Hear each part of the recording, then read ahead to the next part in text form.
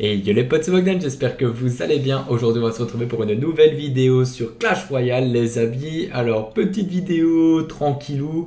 Je vais présenter le deck qui m'a fait monter très très haut, très très rapidement. Enfin, très très haut, je suis qu'à 3300 trophées mais ça fait juste un peu plus d'une semaine que je joue, donc je pense que c'est une performance qui est plutôt pas mal. Du coup, aujourd'hui, on va se présenter le petit deck qui m'a permis de monter en Hello, si on peut l'appeler comme ça. Donc, euh, il s'agit donc du bélier, de l'archer magique, pardon, euh, de l'armée de squelettes, je vais y arriver, du sort d'électrocution, le feu à gobelin, la voleuse, le feu à barbare et le bébé dragon. Ça se passe relativement bien, franchement, en ladder, les gars, pour le moment. Donc, je suis monté assez rapidement. Je pense que du, du 0, si on peut l'appeler comme ça, à 1500 ou 2000, j'ai joué un deck géant. Et des 2000 à 3300, j'ai joué ce deck-là. Et franchement, les gars, il envoie du lourd, du très très très lourd. On va, avant de se lancer quelques games, s'ouvrir les deux petits coffres en argent. Voilà, juste pour le plaisir. Ils sont là, on va se faire plaisir. Et ben voilà, hop, le prince qui tombe, les gars, ça fait plaisir. Une petite épique dans un coffre en argent, ça fait toujours plaisir. On va toucher ici pour déjà débloquer celui-ci. Et on va partir en combat. Je vais juste vérifier, ok, c'est le bon deck qui est débloqué. C'est parti, on va se faire une petite recherche de combat les gars. J'espère atteindre les 4000 trophées cette saison-ci. Il me reste entre 4 et 5 jours pour le faire, je pense. J'irai voir ça juste après avec vous. Mais, euh, mais voilà, je pense que je suis plutôt confiant. Euh, ça devrait aller, je vérifie si le micro est bien allumé. Ce serait dommage. Euh, là, je vais mettre la voleuse en attendant. J'ai gardé mes cibles volantes, entre guillemets, pour, pour défendre si jamais je dois défendre. là, je vais lui mettre un petit zap. Je pense que mon zap suffit pour aller tout chercher après avec euh, la tour sans prendre de dégâts ici. C'est bien le cas. Euh, j'ai pas mis... J'ai pas mis de donc là j'ai perdu l'élixir parce que je voyais et je regardais la défense, euh, donc un peu mal joué de ma part. Je vais attendre un peu ici. Je vais déjà envoyer celle-ci, comme ça j'attaque sur deux fronts en fait. On va voir un peu comment l'adversaire peut défendre. S'il défend pas à droite, je vais envoyer mon feu à gobelin, tout simplement, parce que là à gauche je sais que ça va se défendre un petit peu tout seul. Ok, donc là il a mis son feu à lui. Je vais défendre ici avec l'archer. Et là, je vais envoyer simplement mon feu à barbare et l'électrocute ici pour venir chercher le reste. Normalement, mon petit barbare va aller chercher la tour, voilà, qui est fait. Et là, maintenant, je vais simplement temporiser. Je vais attendre un peu les défenses, voir un peu comment euh, mon adversaire la joue. Et simplement attendre ici de récupérer euh, de l'élixir pour pouvoir faire euh, une attaque vraiment en douceur, les gars. Bon, après, je tombe contre un niveau 7, hein, donc euh, pas de bol pour lui, j'ai un niveau de plus. Et mine de rien, je suis tombé souvent contre des niveaux 9, niveau 10. Ok, en plus, mon Drake, normalement, va aller à gauche ici. Donc ça, c'est plutôt pas mal, étant donné qu'il a mis euh, son golem là-bas. Je vais mettre déjà ça ici, parce que le golem, je vais pouvoir aller le chercher avec euh, l'armée de squelettes. Donc, pourquoi pas simplement faire ça ici. Voilà, hop, on va attendre là. Et là, on va mettre mon armée. Je vais mettre ici pour attaquer en plus. Je vais attendre que l'armée des squelettes tue le golem. Et là, je vais envoyer seulement mon fût. Mettre un petit zap pour éviter que le premier ne puisse taper. Et finir ici, comme ceci. Voilà. Donc, pas trop mal défendu. Ça aurait pu mieux se dérouler, je pense. Mais voilà, c'était euh, une plutôt bonne défense. Assez propre. Je vais mettre ici le fût plus ceci. De toute façon, ouais, voilà. Donc, euh, c'était euh, garanti qu'il allait venir le chercher. Donc, je vais simplement défendre avec ça. Là, je vais lui mettre une petite voleuse pour venir à son corps à corps. Je vais remettre de nouveau les mini golems ici. Je vais mettre ça là-bas pour aller chercher le golem qui va mourir instant. Mettre mes deux petits gobelins ici. Mon feu barbare comme ça pour venir chercher les siens. Et là, euh, la contre-attaque qui va se dérouler euh, très très fort. Du coup, euh, ouais, il peut rien faire. Il peut trop rien faire ici malheureusement pour lui. On va mettre l'électrocute pour aller chercher le reste. Et là, on va chercher le 2 couronnes, les gars. Le 3 couronnes sera un peu compliqué ici. On va essayer, on va essayer. Mais euh, ouais, ça, risque d'être un peu compliqué. Trop lent. L'armée de squelettes va pas réussir à taper tout. Peut-être. Ah si, le 3 couronnes, les gars, qui tombent. Voilà, 3 couronnes, assez facile. Très rapide. Voilà, donc euh, pas, pas trop de difficultés. On prend un petit plus 32. Il y aura un coffre en or qu'on pourra ajouter à la file directement juste ici. Et comme vous pouvez le constater, euh, j'ai fini mon pass, hein, les gars. Donc il me reste encore 5 jours, les gars. J'ai commencé, j'étais à 17 jours restants, je pense. Donc en 12 jours, j'ai farmé plus de 700 couronnes, les gars. Parce que pour y arriver, il faut 350 couronnes pour arriver au rang 35. Et ici, il faut encore 350 couronnes de plus pour arriver aux 10 000 gold. Et comme vous le voyez, il est fini. Et du coup, j'ai encore eu des couronnes en plus après ça. Donc j'ai farmé plus de 700 couronnes sur presque 12 jours seulement. Voilà, plutôt pas mal. Ça prouve que les decks sont quand même assez rentables.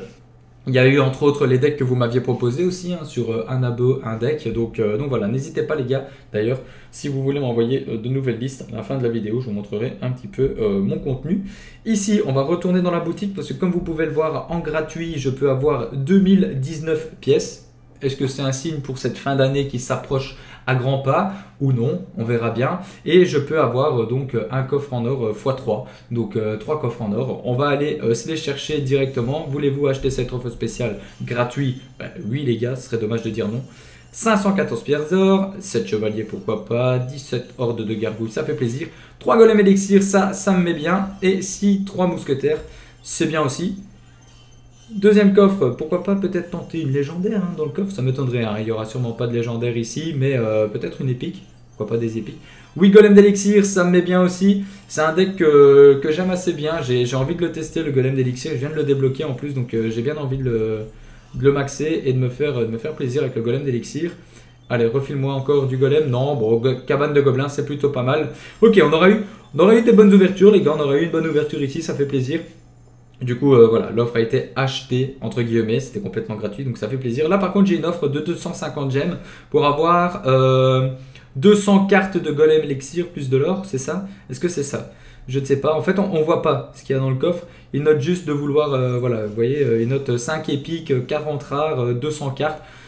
Voilà, peut contenir entre 26 et 60 golems d'élixir. Donc euh, je sais pas trop, je sais pas trop. Dites-moi dans les commentaires si vous voulez que je l'achète. Les gars, j'ai les gemmes. Hein. donc euh, voilà, dites-moi dans les commentaires si vous voulez que je l'achète ou euh, simplement si vous trouvez que c'est un peu cher et que ça en vaut pas le coup. Voilà, faites-moi savoir le tout dans les commentaires. On va se lancer une deuxième game avec ce petit deck les amis en espérant voilà pourquoi pas faire une bonne performance. Et donc maintenant on sait qu'il nous reste un peu plus de 5 jours maintenant pour essayer de passer à 4000 trophées.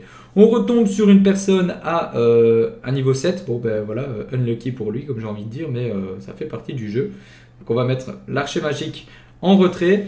Voilà, moi j'aime pas garder 10 élixirs trop longtemps dans ma main. J'aime bien jouer une carte qui tasse qu'elles sont un petit peu gaspillées entre guillemets, mais au moins elle est jouée. Je vais jouer mon golem d'élixir pour voir un petit peu ce qu'il a pour défendre. Ok, là il a envoyé son machin, donc on va le défendre tout de suite. Je vais pas mettre plus. Pendant ce temps-là, vous voyez, il a utilisé tout son élixir à gauche, à droite pour attaquer. Du coup, à gauche, il n'a pas su défendre ma horde. Et ma horde, juste, juste le fut de gobelin. Hein. C'est juste le fut de gobelin qui a fait euh, tous ces dégâts-là. Hein. Donc euh, ça, hop, on va mettre ça directement le zap sur le truc. Malheureusement, ça suffira pas. Je vais lui mettre ceci pour pas qu'il mette trop de dégâts à ma tour. Et je vais de nouveau envoyer un fut à gobelin sur la gauche et voir un petit peu comment il compte défendre celui-là. Il met sa sorcière sur la droite, très mauvaise chose parce que du coup, je vais pouvoir lui prendre sa tour complètement gratos. Je vais mettre mon Drake à fortiori devant, comme ça il va prendre l'agression directement sur sa troupe à elle. Je vais lui mettre l'armée de squelettes pour aller chercher euh, son cochon. Et du coup, son cochon qui ne mettra même pas un seul coup. Donc là, je vais mettre directement euh, le bélier de combat pour aller faire des dégâts. Je vais empêcher son Drake de taper une fois de plus pour ne pas euh, prendre trop de dégâts ici euh, et pouvoir lui infliger les dégâts nécessaires. J'attends simplement le repop pour mon archer magique. Je vais le mettre très en écarté, comme ça il va prendre l'aggro sur mon archer magique et il fera pas de dégâts directement sur ma tour en même temps. Voilà. Hop, là mon archer va avancer, je vais laisser le temps, on va voir un petit peu ce qu'il va préparer. Je recharge un petit peu dans l'élixir, on n'est pas en élixir x2, donc voilà. N'hésitez pas dans les commentaires à me dire, bah tiens, à ce moment-là, tu aurais peut-être dû éviter euh, l'agression là, ou passer plutôt par là. Voilà, dites-moi un petit peu, je ne cherche qu'à m'améliorer bien évidemment.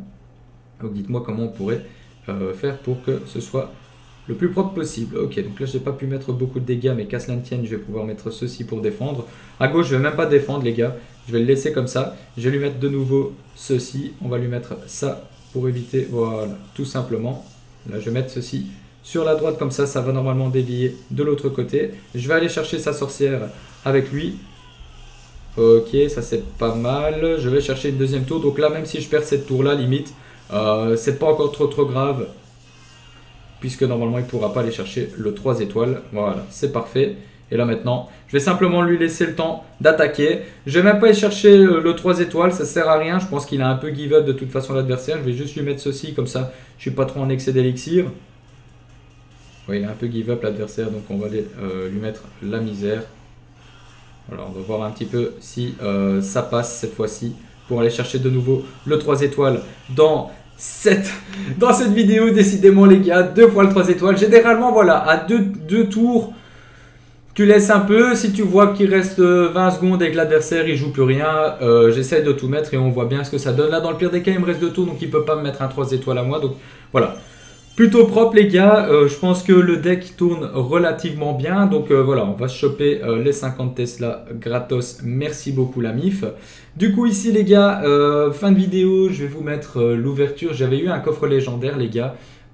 du coup je l'ai ouvert parce que sinon j'avais plus de place pour les coffres et du coup ça m'embêtait de pas pouvoir l'ouvrir et de faire une vidéo. Donc je l'ai fait en vidéo comme ça. vous aurez la preuve qu'effectivement je l'ai eu dans un coffre légendaire. J'ai eu la bûche. J'ai eu la bûche dans un coffre légendaire et j'ai eu également le Mega Knight euh, hier euh, dans un coffre euh, dans un coffre magique je pense. C'était comme ça que ça s'appelle. Par contre, je l'ai ouvert. En fait, le jeu a bugué, j'ai voulu faire quitter, je l'ai relancé et j'ai eu euh, la légendaire dedans. Euh, j'étais un peu deg, euh, j'ai même pas, pensé à screen ni rien. J'étais un peu deg. du coup, je l'ai ouvert. J'avais fait un message à Luc Alex en plus en lui disant putain, je l'ai ouvert et tout. Je l'ai même pas en vidéo ni rien.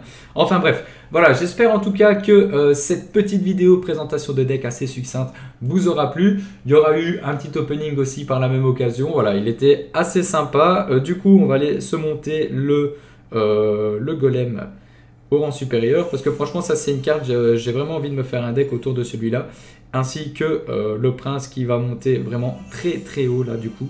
Voilà il passe Niveau 9 le prince. Donc ça, ça fait plaisir. Ça fait plaisir les gars. Euh, du coup, euh, voilà, je vous remontre un petit peu ma decklist les amis comme d'habitude dans les commentaires ou sur mon Discord, voire même dans le clan directement.